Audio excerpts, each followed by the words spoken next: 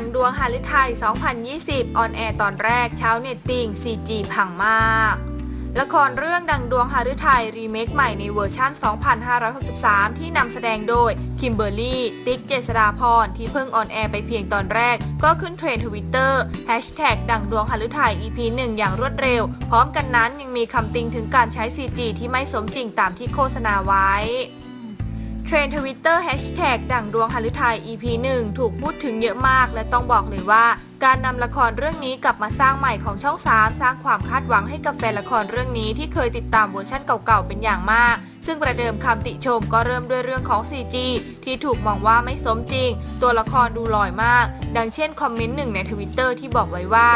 ตั้งตารอดูพี่ติ๊กกับคิมมากให้ใจกับเรื่องแบบสุดๆ เพราะเจ๊ไก่คุยโวว่าเรื่องนี้คือที่สุด นักแสดงที่มากกว่าร้อยชีวิต เพลงประกอบละคร 4 เวอร์ชันที่สุดของ CG แฟนตาซีเหนือจินตนาการ พอดูแล้วถึงกับต้องอุทานว่า CG มันเหนือหรือย้อนจินตนาการกันแน่ คืองานหยาบพอๆกับละครจักจักวงวงๆเลย